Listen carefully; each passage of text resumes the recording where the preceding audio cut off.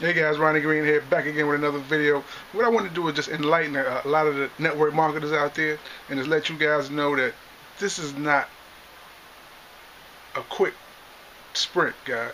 Okay, what this is is a journey.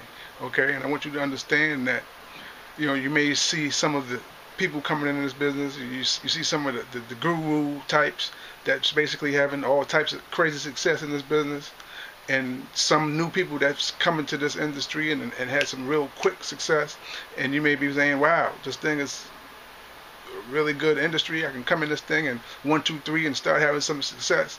And a lot of times yes it may be like that. You may get lucky.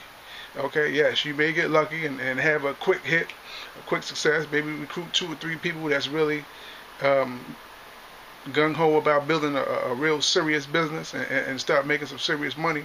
But that's not really something that happens on an everyday basis, guys. I want you to understand that this thing is not a sprint. This thing is a journey, guys, and it's going to take some time for you to, to, to learn this business, learn how everything is supposed to be done.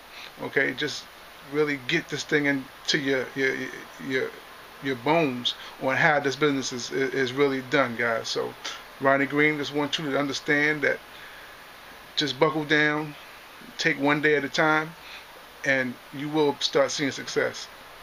But it will take a little while, guys. So Ronnie Green signing out. See you on the next video.